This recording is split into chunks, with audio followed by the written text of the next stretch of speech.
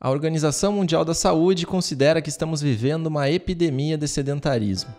Quando esse tema é abordado, muitas pessoas têm o costume de associar apenas a saúde física. O que muitos não sabem é que a saúde mental também é comprometida. No TV Campus Entrevista de hoje, vamos conversar sobre os benefícios das atividades físicas e dos exercícios físicos para a saúde mental.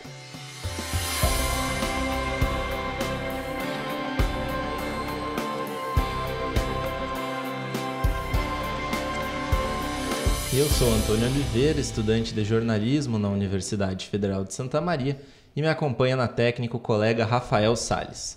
Hoje recebo o professor Felipe Schuch, que é docente do Centro de Educação Física e Desportos da UFSM e é um dos pesquisadores mais influentes no mundo no que diz respeito a estudos relacionados à saúde mental e à prática de exercício físico. Olá, professor Felipe, muito obrigado por ter aceitado nosso convite. Seja muito bem-vindo ao TV Campus Entrevista. Muito obrigado pelo convite, Antônio. É uma satisfação para mim estar aqui conversando com vocês e com os nossos telespectadores. Bom, é um senso comum que o exercício físico ele é benéfico para a nossa saúde, mas as pessoas elas costumam associar a saúde física, né, principalmente por aquela relação com perda e ganho de massa. No entanto, as pessoas não percebem que para a saúde mental é tão benéfico quanto. Eu queria que o senhor começasse explicando para a gente, então, quais são os principais benefícios do exercício físico na saúde mental. Bom, perfeito. Esse é um senso comum, é um conhecimento antigo, até já se diz. Muitas pessoas ainda remetem àquela frase do famoso filósofo Juvenal dizendo "mens sana incorpore sana", na verdade essa frase ela foi tirada um pouco de contexto e utilizada para defender essa ideia. Então a ideia ela é bem conhecida, embora essa frase ela esteja, esteja fora de contexto. Bom, sim, o exercício físico e a atividade física, que é uma, um, um, um, conceito um pouco mais abrangente. Exercício físico é aquele exercício que é sistematizado, que é feito de forma repetitiva para aumentar uma valência física. Ele é benéfico e a atividade física é um pouco menos estruturada e ela também é benéfica. Então, atividade física é qualquer movimento que a gente faz. A gente sabe que qualquer movimento que a gente faz, em algumas, determinados, algumas determinadas doses, alguma certa quantidade, pode trazer alguns benefícios. Por exemplo, os mais conhecidos e o que a gente vem mais trabalhando na área é mostrar o quanto a atividade física, ou seja, quantas pessoas se movimentam ao longo do dia, consegue diminuir o risco dela vir a desenvolver algumas, algumas doenças, alguns transtornos mentais, que é uma classificação adequada. A gente sabe, por exemplo, que a atividade física reduz o risco de desenvolver depressão, sabe que a atividade física reduz o risco de desenvolver, desenvolver ansiedade. E a gente sabe também que o inverso, o comportamento sedentário, que é ficar muito tempo sentado, aumenta o risco de desenvolver depressão e ansiedade. Então, enquanto a gente tem que o movimento por si só ele aumenta o risco de desenvolver depressão e ansiedade, a falta dele e o ficar sentado, o movimento contrário, por si só aumentam também, ou de forma independente, eles aumentam o risco de desenvolvimento de depressão e ansiedade. Essas são as, as duas mais uh, as duas áreas em que a gente tem mais evidências, evidências mais consistentes. E a gente sabe também que fazer atividade física, em quem já tem algum problema de saúde mental, pode ajudar em vários desfechos de saúde, como a gente trabalha. Pode ajudar reduzindo a depressão, reduzindo a ansiedade, melhorando eventualmente a autoeficácia, a autoestima e alguns outros domínios da saúde mental que podem ser importantes para promover bem-estar e qualidade de vida. Professor, então você pontuou aqui algumas doenças. Tem um estudo da OMS que aponta que até 2030 cerca de 500 milhões de pessoas vão ter o que eles chamam né, de doenças não transmissíveis, diabetes, doenças cardiovasculares, entre outros casos. Como nós podemos, nós enquanto sociedade, o que nós podemos fazer, digamos assim, para evitar esse grande número, esse alto número de casos? Bom, doenças eh, não transmissíveis é um grande grupo de doenças e é um grande grupo de doenças multifatoriais, ou seja, tem várias doenças e algumas delas são causadas por vários fatores. A gente tem atividade física como sendo um fator protetor para várias dessas doenças crônicas não transmissíveis, por exemplo, diabetes, hipertensão, tem né, a própria obesidade em si, quando tratada com diagnóstico, também está associada à atividade física. E quando se refere à saúde mental, a gente tem que a atividade física ela está associada, então, ao, ao risco de desenvolvimento de ansiedade e depressão muito mais consistentemente. Globalmente, o que a gente poderia fazer é tentar promover primeiro, a redução do tempo gasto em comportamento sedentário. E a gente tem visto que só as pessoas ficando menos sentadas, mesmo não fazendo exercício, que é aquele exercício estruturado, aquele exercício intenso, mesmo não fazendo isso, só quebrando o tempo de comportamento sedentário, já reduziria o risco de várias dessas doenças e se isso se aplica também aos transtornos mentais. E se, além disso, as pessoas se movimentassem um pouco mais, a gente tem evidências fortes que a gente conseguiria reduzir ainda mais a prevalência em nível populacional. Isso que a gente quer dizer que atividade física e exercício físico eles não são milagre e solução para todas as doenças, não é isso. Mas eles são fatores de risco importantes que se todas as pessoas na população aumentassem seu nível de atividade física, muitas delas, não todas, muitas delas deixariam de ter aquele desfecho, porque ele é um fator de risco. Então, essas doenças elas são causadas por várias coisas, vários fatores. E quando a gente elimina, elimina um dos fatores de risco, na população a gente espera que essa prevalência diminua. E ao contrário do que as pessoas pensam, de que ah, tem que fazer muita atividade física para ter benefício em termos de proteção, né, de prevenção de, de, de, as pessoas, de prevenir as pessoas desenvolverem desfechos. Uma revisão bem recente nossa, publicada no passado, mostrou que fazendo a metade do que a OMS recomenda de atividade física, 75 minutos de atividade física moderada ou vigorosa por semana já está associado com uma redução no risco de desenvolvimento de depressão em 18%. Isso significa que não precisa fazer três vezes por semana 50 minutos ou cinco vezes 30 minutos para a saúde mental. Para a saúde mental, a metade disso já é suficiente. Então, lá fazer uh, três vezes por semana, 25 minutos, por exemplo, já seria para depressão especificamente suficiente. Professor, então tu citou a questão do tempo, né, os 75 minutos. O tempo ele é utilizado por muitos como a principal desculpa para não praticar tanto atividade física quanto exercício físico. Né? As pessoas gostam de usar a expressão eu não tenho tempo. Como nós podemos então estimular essas pessoas? Né? Você trouxe aqui um, um, número que não é grande, não é uma, uma minutagem muito longa. Como a gente pode conscientizar as pessoas e mostrar para elas que essa questão da atividade física não está tão distante? Perfeito. Então, a gente conseguiu ver, por exemplo, que 75 minutos por semana já são benéficos. Isso facilita muito, porque muitas vezes as pessoas têm aquela crença de que, olha, se eu não vou, se a recomendação é 150 e eu não atinjo 150, né, eu não vou ter benefício. Então, isso uh, previne que muita gente acabe buscando essa desculpa ou esse pretexto, não necessariamente uma desculpa, mas um, um argumento para não se uh, para não fazer nada. Então, essa mensagem em termos de saúde pública é muito importante, porque tu diz, olha, tu não precisa fazer tanto, fazendo alguma coisa já tem benefício. Isso já ajuda. Bom, como motivar as pessoas? Uh, essa é uma, uma pergunta constante e é um grande ponto de interrogação em termos, em termos populacionais. No nível individual, o que, que a gente diz? Que a melhor atividade física é aquela que é feita.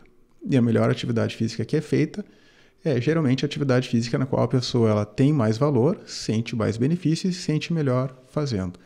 Por exemplo, qual seria a melhor atividade física para alguém reduzir, para ter benefício de saúde mental, reduzir os níveis de depressão e ansiedade, por exemplo? Seria aquela atividade na qual a pessoa se identifica como sentindo algum prazer, ou se identificando com ela, ou aquela que ela percebe mais benefício. Então, a melhor atividade física, quando me perguntam, eu sempre devolvo a pergunta: olha, qual é aquela atividade física que tu mais gosta ou que tu mais percebe que tu te sente bem fazendo ou aquela que tu te identifica mais? Essa é a melhor atividade física para as pessoas, em nível populacional, quando se fala em saúde mental. Lembra sempre que, ah, qual é a melhor atividade física? Se é para aumentar a força muscular, é musculação, tem que fazer carga. Se é para aumentar a velocidade de corrida, tem que correr. Mas quando o assunto é benefício em saúde mental, a melhor atividade física é aquela que a pessoa faz, que é geralmente aquela que ela mais valoriza e se sente melhor fazendo. Até pegando um gancho nessa sua questão da musculação, das atividades, eu vejo pelo menos muito mais das pessoas da musculação o uso da frase né, no pain, no gain, que traduzido para o português é o sem dor, sem ganho. Basicamente dando a entender que para obter resultado tem que sofrer, tem que sentir dor. Até que ponto essa frase está correta e até que ponto ela não distancia, digamos assim, as pessoas das práticas, tanto de atividade quanto de exercício físico? Essa é uma excelente pergunta e eu agradeço muito por ter tocado nesse assunto. O no pain, no gain no pain no gain, em termos de saúde pública, é a pior mensagem possível que já foi criada na área. Quando a gente fala de performance para atleta de alto nível, essa é uma verdade. No pain, no gain. O atleta profissional, ele quer desempenho, ele vai ter um sofrimento associado àquela prática, ele tendo até o limite, extrapolando o limite. Mas, quando a gente fala em saúde mental e quando a gente fala de promoção de atividade física na população, essa frase é um desastre, porque a atividade física ela não precisa causar dor, ela não precisa causar desconforto para que se tenha benefício. Como agora eu dei um exemplo, por exemplo, de 75 minutos de atividade física por semana já está associado com benefício. Tu não precisa fazer isso sofrendo. Muito antes, pelo contrário.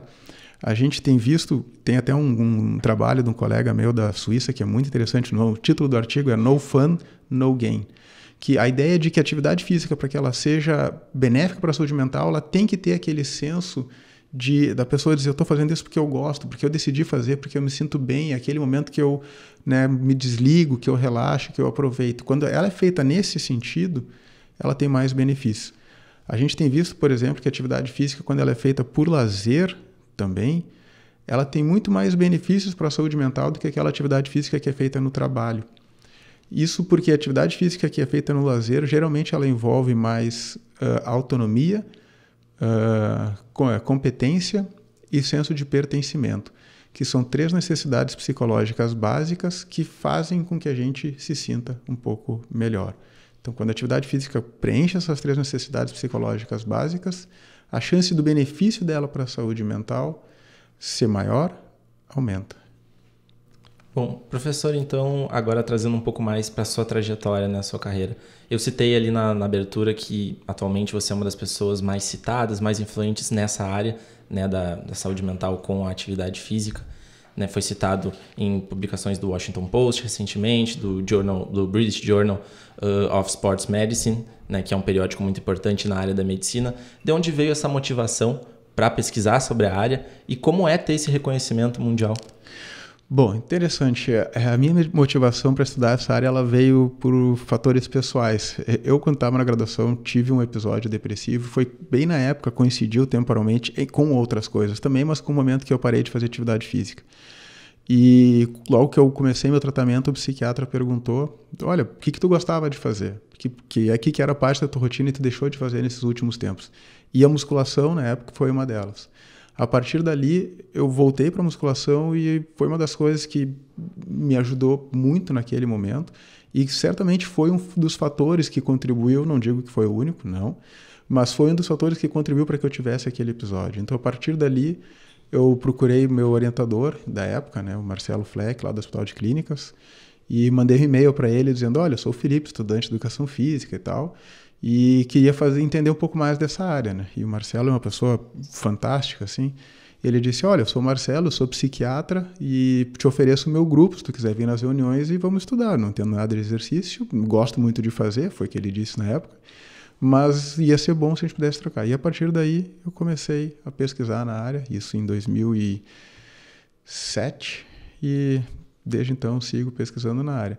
Bom, ter reconhecimento em tudo que a gente faz é, é sempre muito bom, né? Mostra que, em primeiro lugar, a mensagem que a gente está passando, que a informação que a gente está criando, está desenvolvendo e está uh, construindo, ela está sendo repassada para outras pessoas em diferentes partes do mundo e que é uma, uma mensagem que está sendo utilizada, né? Então, isso para mim é o principal, muito antes do próprio reconhecimento em si, é o que me leva a ter esse reconhecimento, que é saber que essa mensagem, o que a gente está fazendo aqui na universidade, está sendo divulgado no mundo inteiro para todas as não para todas as pessoas, mas para as pessoas que têm acesso a essas informações, que é um grande número de pessoas. Então isso é importante.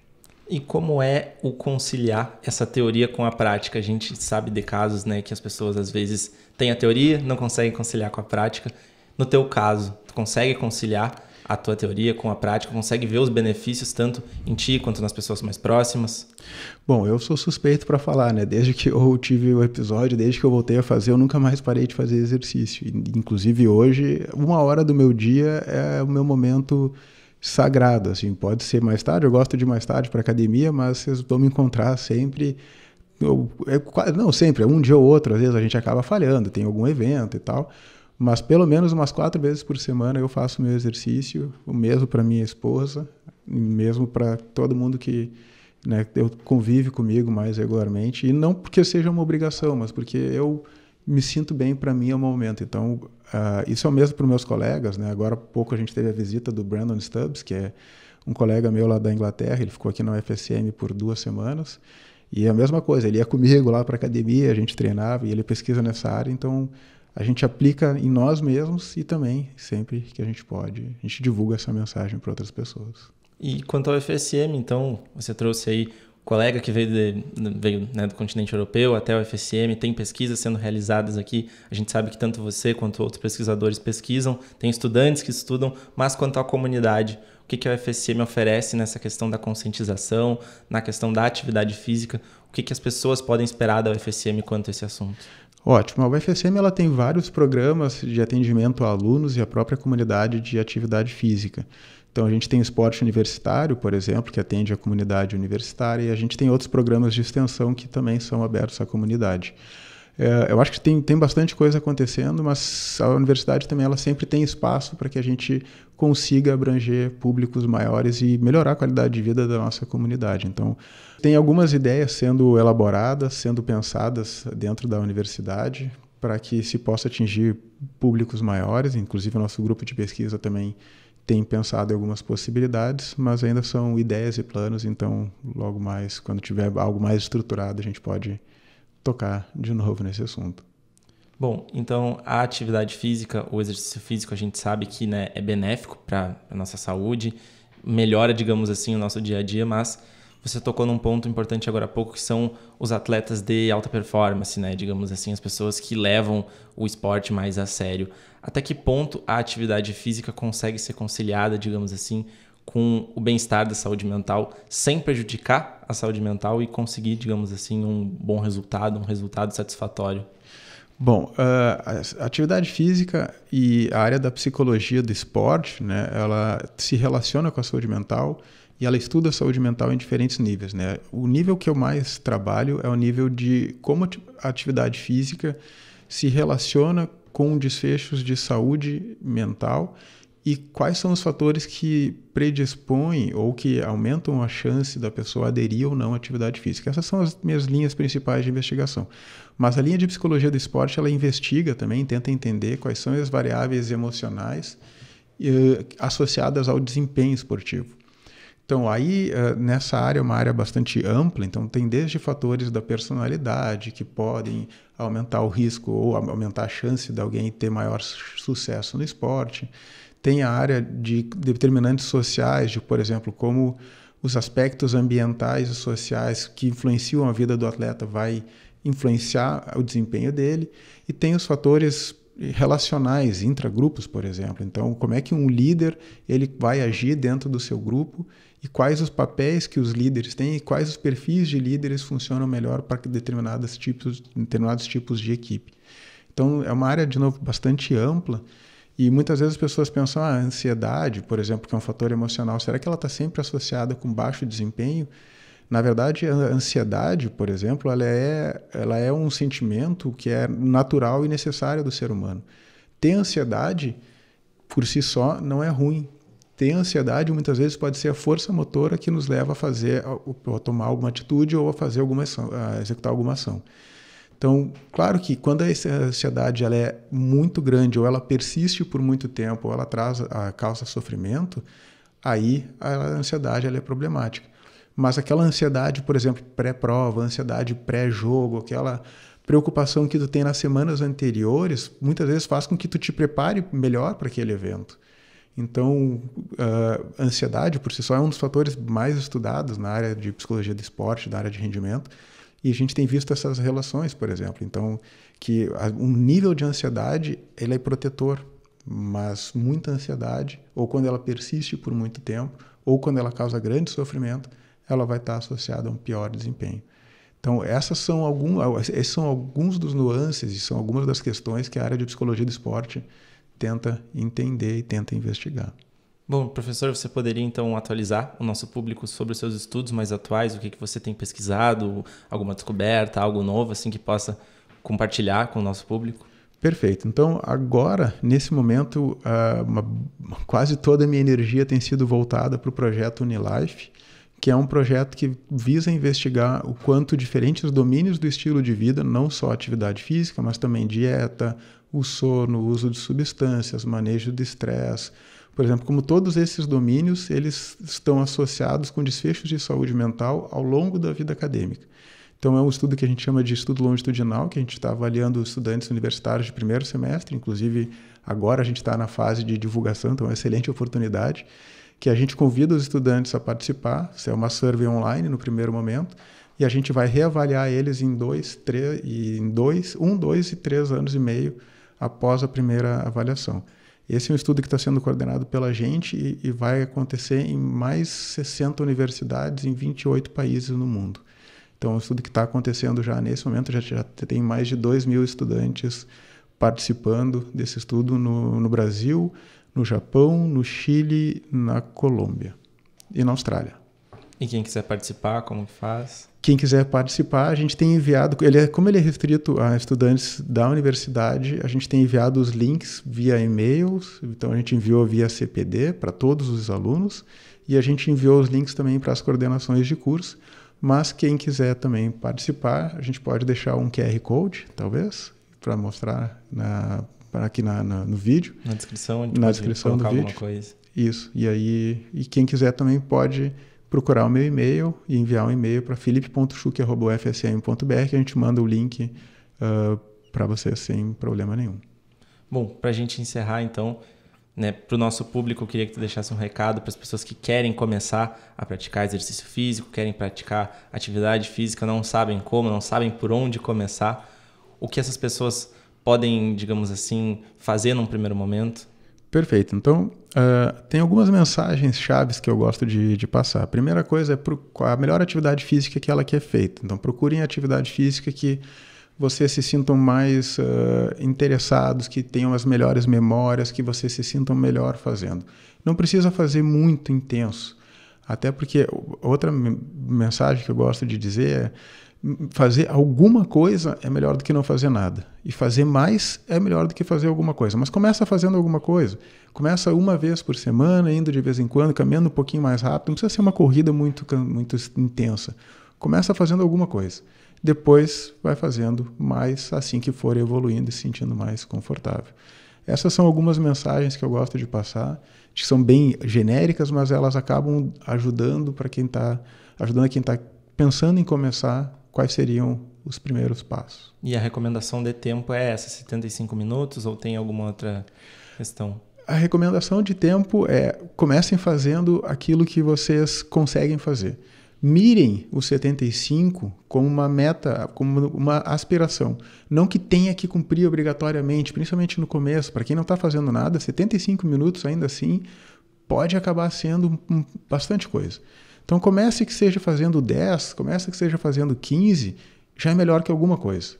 Se depois conseguir chegar aos 75, se depois conseguir chegar, conseguir chegar aos, aos 150, se conseguir chegar aos 300, melhor mas começa fazendo alguma coisa. Mesmo cinco minutos por semana é melhor do que zero minutos por semana.